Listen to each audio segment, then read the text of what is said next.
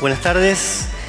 Eh, bueno, para aquellos que no estuvieron a la mañana, como dicen que el, público se renueva, eh, bienvenidos nuevamente, ya a esta etapa final.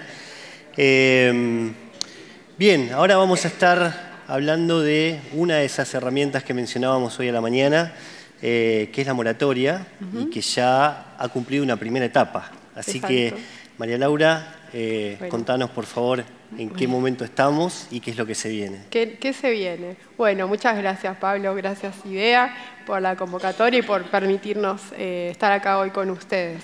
Eh, bueno, ya empezó la, ya terminó la primera etapa de, la moratoria. Eh, espero que todos tengan muchas preguntas o muchas dudas, porque si no hay dudas, la presentación no tiene sentido.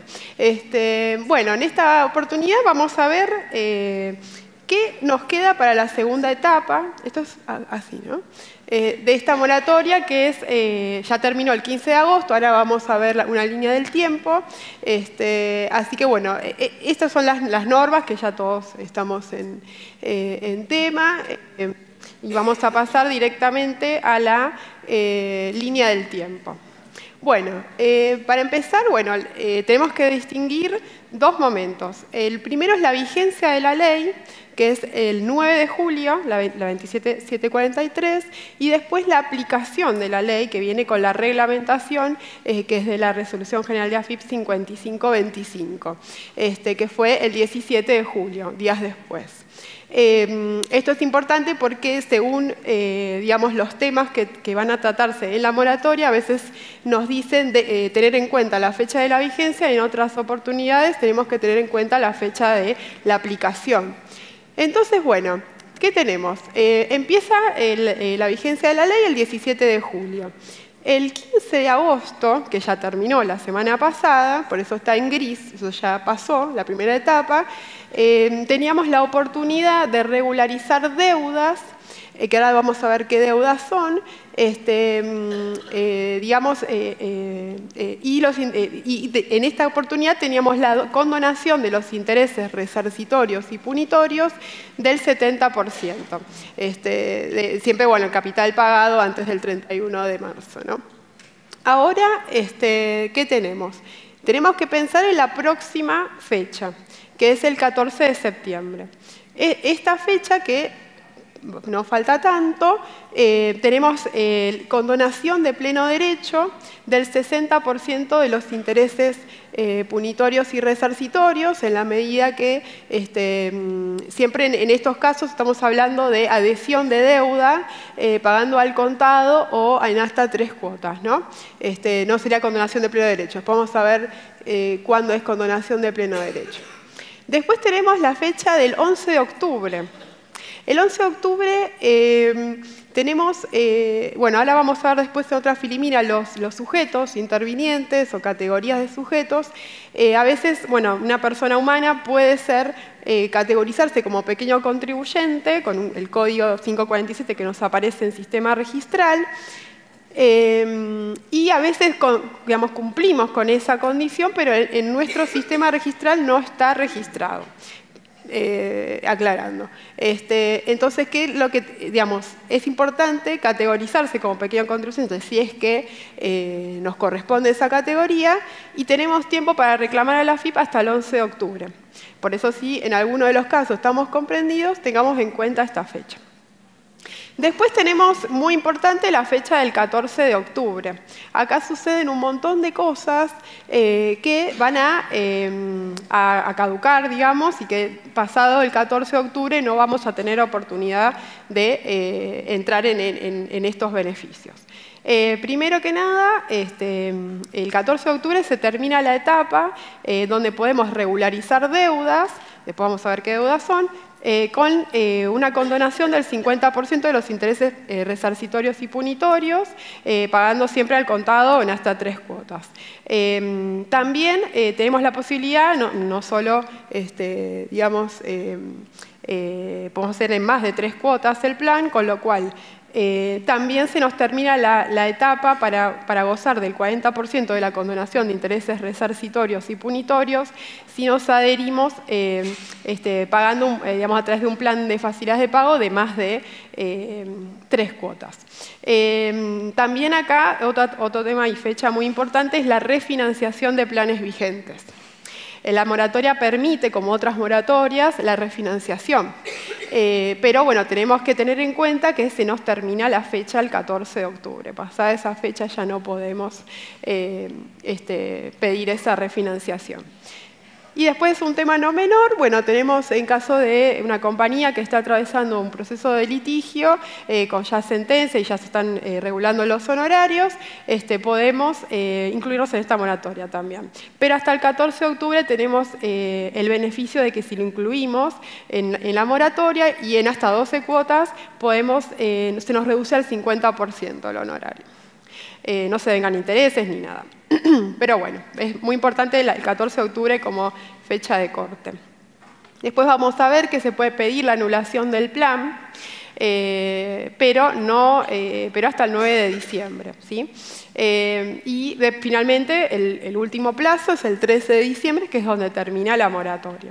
Como todos, todos coincidimos, ¿no es cierto?, que este, quedó bastante corto, si bien, digamos, el plazo y también la temporalidad de las deudas que podemos incluir, si bien los tipos de deuda realmente es bastante amplio, pero este, quedó corto, ¿no? 31 de marzo, ahora vamos a ver los, los Bien. Eh, ¿Y cuáles son las claves que tenemos que tener y qué es lo que viene de acá en más? Bueno, ¿qué, es lo que tenemos que tener en cuenta para embarcarnos en este proceso eh, de la moratoria? Primero, para hacer un repaso. Eh, obligaciones incluidas son, es bastante grande el universo, siempre que, digamos, ya sea tributaria, aduanera y de seguridad social. La particularidad, bueno, que tiene que estar vencida la deuda el 31 de marzo, pasada esa fecha no se puede. Y este, novedades, eh, el aporte solidario se puede incluir, se pueden incluir retenciones eh, realizadas y no ingresadas o no, no practicadas, eh, y también anticipos. La ley tal vez no es, tan claro, pero habla de anticipos extraordinarios de ganancias, que es lo, que estuvo vigente hace poco, los ordinarios y el resto de los anticipos en general. con lo cual eh, entran todos los anticipos. Y después, eh, como obligaciones excluidas, que es una particularidad, eh, siempre el componente previsional del monotributo estaba comprendido y está dentro de los planes permanentes y, otra clase de planes que se puedan establecer en, en, el tiempo. ¿no? Pero ahora, no sé si fue intencional o no, pero eh, digamos, eh, sacaron el componente integral de seguridad social que incluye la obra social, que nunca se podía eh, digamos, refinanciar financiar, y el, el componente previsional también. Así que solo podemos incluir el componente impositivo del monotributo. Otra, otra mm, no es una novedad, pero llama la atención, este, si un sujeto que es director o socio en una compañía y ha sido condenado por cualquier delito, eh, la empresa en la cual es socio, accionista o director no se puede adherir a la moratoria. Así que es bastante amplia la exclusión eh, objetiva. Bueno, no, nos vamos a detener mucho acá, pero como para que puedan ver, eh, digamos, eh, los sujetos que pueden incluirse en, eh, en, este proceso. Y se dividen en categorías. Según la categoría en la que estemos incluidos, vamos a tener determinado pago a cuenta a ingresar, determinadas cantidades de cuotas máximas y cuál va a ser nuestra tasa de interés aplicable. Hoy la, tasa de interés que está eh, fijada en la norma es la tasa de interés eh, para descuentos comerciales eh, del Banco de la Nación. Y siempre, bueno, lo, que dice el decreto 608 es que se va a actualizar trimestralmente hasta el 31 de diciembre del 2025 y después semestralmente. Eh, con lo cual, para saber qué tasa tomar, tenemos que retrotraernos al día 20 del mes anterior al que inicia el trimestre y eh, aplicarlo después, depende de dónde estemos incluidos, vamos a tener, no sé, el 95% de 3,41 va para las personas humanas. Y así este, eh, con cada grupo. Esto igual después se va a circularizar para que lo puedan tener de apoyo. La particularidad que, me parece digamos, que, hay que resaltar, cuando eh, si uno tiene una deuda de, servicio, importación de servicio que quiera regularizar, o anticipos, em, este, sea extraordinario u ordinario, em, no se permite refinanciar en cuotas. O sea, financiar en cuotas no, pero sí lo tenemos que poner todo en el pago a cuenta. Así que eso es importante para tener en cuenta. Después, eh, cuando nos definan como microempresa o pequeño contribuyente o, pyme, ya sea pequeña, mediana, tramo 1, tramo 2, tenemos que tener reconocimiento de la FIP a la fecha en que nos vamos a adherir. Esto también planteaba ciertas dudas, eh, porque no se sabía a qué fecha teníamos que, estar adheridos, eh, reconocidos como tal. Después, bueno, ahora vamos a ver los beneficios y los tips, digamos. ¿Qué, beneficios comprende esta moratoria? Eh, primero, bueno, todos sabemos, la condonación de intereses resarcitorios y punitorios, multas eh, formales y, materiales, eso es el, panorama central.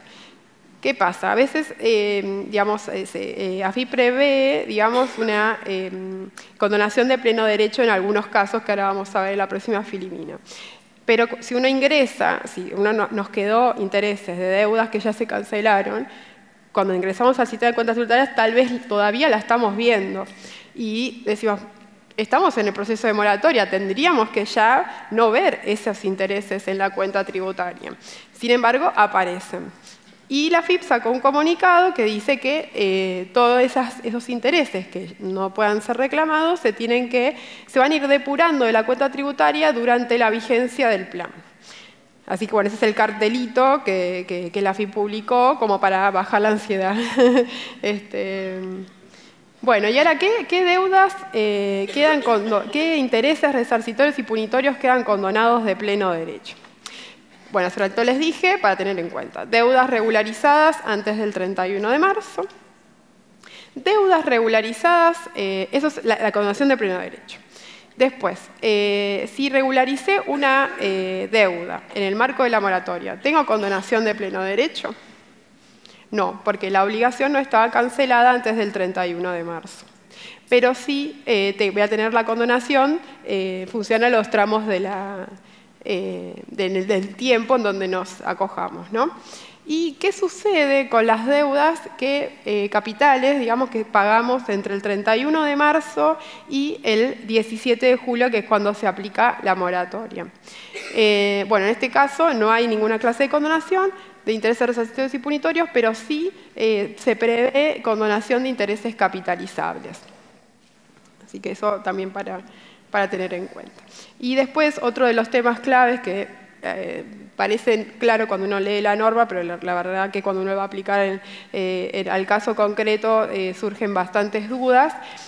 bueno, traté de dividirlos en, tres grandes grupos. Que, ¿Qué ocurre, digamos, con intereses resarcitorios y punitorios de anticipos que ya estén vencidos? ¿no? al 31 de marzo, siempre hablando fecha de corte 31 de marzo. Eh, acá tenemos em, condonación de pleno derecho en estos tres casos que ustedes ven acá. Eh, ¿Cuándo? Anticipos, eh, capital, ¿no? hablando de capital, pagado al contado antes del 31 creo ahí está, se me fue un poquito el, audio. Eh, o que lo hayamos regularizado en algún plan de pagos antes del 31 de marzo, eh, difícil porque, como decíamos, los planes de pago no suelen contener anticipos, pero bueno, puede suceder eh, en alguna moratoria. Entonces, si ya están regularizados los anticipos, perfecto, queda condonado de pleno derecho. Eh, ¿Qué sucede con... Em, eh, presenté la declaración jurada eh, entre el 31, que, motivaba, digamos, a esos anticipos, entre el 31 de marzo y la fecha de, ahora acá dice la vigencia de la ley que es 8 de julio o 9 de julio. Eh, en estos casos eh, presentamos la declaración jurada ahí, ya eh, cae la obligación de ingresar el anticipo, porque quedan subsumidos en esta declaración jurada, y acá también prevé la condonación del 100%, es decir, se extiende un poquito más el beneficio. No va al corte del 31 de marzo, sino que se extiende a la vigencia de la norma.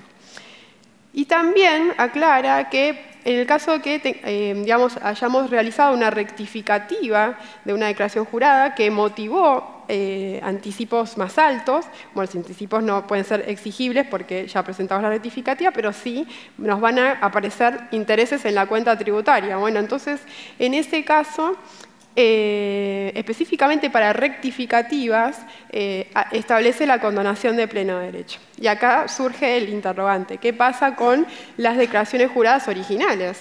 Eh, ¿También pueden, digamos, tener la condonación o no de, esos intereses? Bueno, no está previsto, con lo cual entendemos que no, por el momento no. Estaría bueno si se podría aclarar este, este caso. Entonces, bueno, acá eh, lo mismo que les decía, cuando no aplica la, condonación, que ya lo vimos recién, y eh, lo que hay que tener en cuenta para las multas, ¿no? que uno eh, este, habla de multas formales y, materiales. Las formales, como dijimos, bueno, son, este, no sé, falta de presentación de la declaración jurada, por ejemplo, o irregularidades en, el domicilio, en la declaración del domicilio fiscal.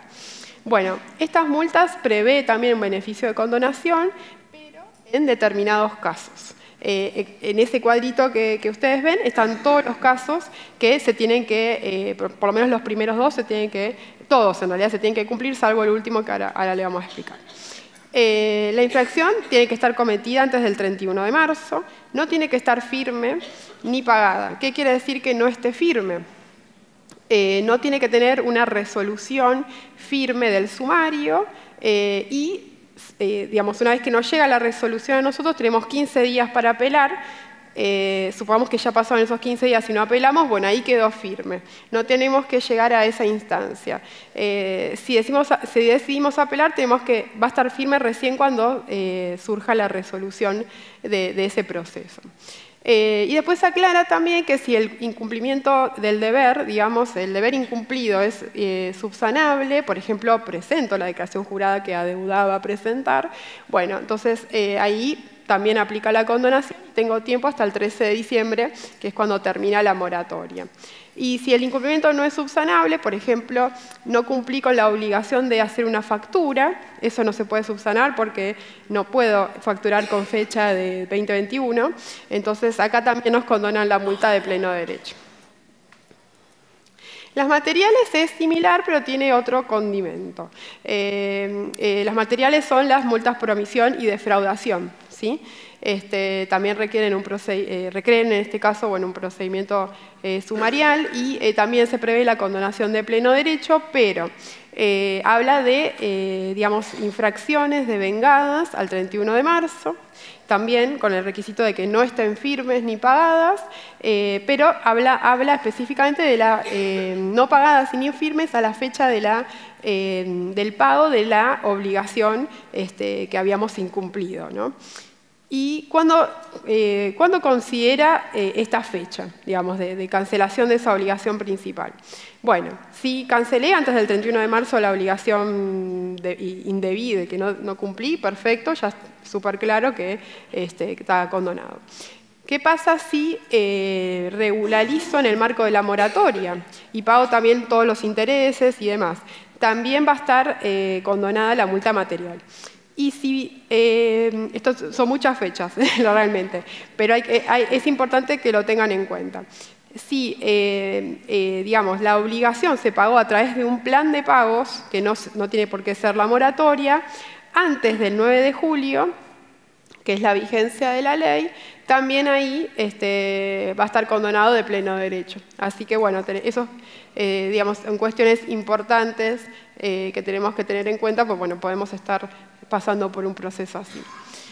Eh, bueno, estos son otros beneficios, con la suspensión de la acción penal hasta que cumpla el plan, después se extingue, levantamiento de medidas cautelares, si estábamos en el medio de un proceso de litigio y este, nos allanamos, ya sea parcial o, totalmente, este, digamos, el fisco va a tener la orden de liberar este, los fondos, eh, bueno, baja el redsal y, y demás. Son, otros beneficios que están bastante claros en la norma. Planes de pagos eh, que ya tengamos vigentes. Acá lo que hay que eh, tener en cuenta es, bueno, primero la fecha, que dijimos que hasta el 14 de octubre. Eh, digamos, lo importante es que se mantiene la fecha original para lo que es la condonación de intereses de, la consolidación original, así que eso está bueno porque tenemos mayor porción de intereses condonados. Em, lo único malo es esto, de que hay que pagar el contado en tres cuotas y hay que analizar cada caso si nos conviene o no.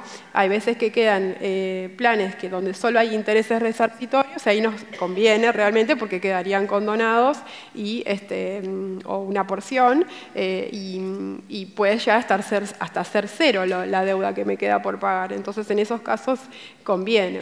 Eh, lo mismo, bueno, condonación de intereses o liberar cupos en el caso de planes permanentes. Así que, bueno, es, depende del caso que tengamos, ¿no?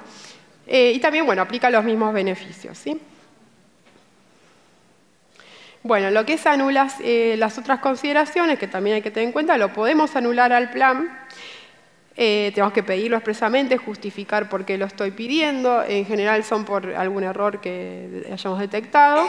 Eh, y lo que hay que tener en cuenta es eh, que no aplica, digamos, para lo que pagué, ya no pierdo los beneficios de, la moratoria. ¿no? Entonces, no, no, es que se reimputa eso que pagué a, otro plan de la moratoria. Eso lo puedo usar, sí, contra otros bienes, otras, otras deudas, digamos. Cancelación anticipada se puede pedir. Eh, lo único que hay que tener en cuenta es que no hay retorno, o sea que si cometí, eh, quiero volver atrás, no, no puedo, ya la pedí. Eh, y la caducidad, bueno, está previsto para X cantidad de cuotas adeudadas y va a depender, digamos, cuánta cantidad de cuotas hayamos pedido. bueno, después lo que es moratoria y blanqueo, a veces hay que analizar cuándo conviene eh, tal vez adherirnos a la moratoria y cuándo conviene ir por blanqueo. ¿sí? Estamos hablando de una inspección este, donde em, tenemos facturas apócrifas, apócrifas, bueno, tal vez nos convenga la moratoria, o este, no declaramos algún bien cuyo origen de fondos pueda estar justificado, bueno, acá tal vez habría que hacer ejercicio y nos convendría ir por moratoria. Eh, lo mismo, bueno, su facturación, bueno, algunas otras cosas que también eh, eh, hay que ponerse eh, sobre la mesa a pensar. Bueno, y por último, ¿qué está haciendo el fisco hoy en relación a esto? a ver, nos está llegando, por lo menos a nosotros, a todos nuestros clientes, comunicaciones eh, generales, sabemos que, en otros colegas pasa lo mismo, eh, donde eh, no es una comunicación, es una campaña de inducción a entrar a la moratoria, donde no, hay una intimación cierta, o sea, no, se están intimando con un plazo para cumplir y demás, pero sí como un aviso de que sabemos que tenés alguna irregularidad ya sea, por ejemplo, derechos de exportación de servicios no conformados, que a veces sucede, eh, que es bastante viejo, digamos, el tema, pero bueno, ha, llegado. Y bueno, acá una de las pocas eh, este, mm, tips, digamos, de, que la FIP puede eh, decir, bueno, tenés, no sé, diferencias en la declaración jurada de IVA por, no sé, ventas en medios electrónicos. Y no te dice ni qué periodo, nada, dice encontramos inconsistencias. Entonces ahí, ¿qué haces? este, Así que bueno, está pasando eso ahora. Es como una campaña de como las, las viejas notas que enviaban que suponían que tenías empleadas domésticas y ese tipo de cuestiones que realmente son bastante efectivas. son efectivas. Porque muchos eh, Muchos saben que están en una irregularidad y, bueno, te invitan a eh, ingresar en la moratoria, regularizar tu situación. Eh, la particularidad es que en este caso no es un aviso general, sino que viene con nombre, apellido, razón social, quit. O sea, este, viene bastante teledirigido hacia el contribuyente. Pero bueno, por ahora es esto, ¿no? Es un escenario que veremos que qué, sucede y bueno, analizar cada, caso a caso. Ok, bueno, eh, bueno. Quedan algunas cuestiones todavía por aclarar. Eh, se espera que en esta segunda etapa eh, desde AFIP haya aclaraciones. Eh, y bueno, hay que, hay que seguir... Este, y bueno, sobre la marcha, caso sobre la marcha, Acompañar a, todos en, este proceso desde nuestro lado como consultores, eh, eh, acompañarlos y darles el mejor consejo y, para optimizar, digamos, su, negocio. Bien. bueno. muchas gracias, María Laura. Gracias a vos, Pablo. Gracias a todos.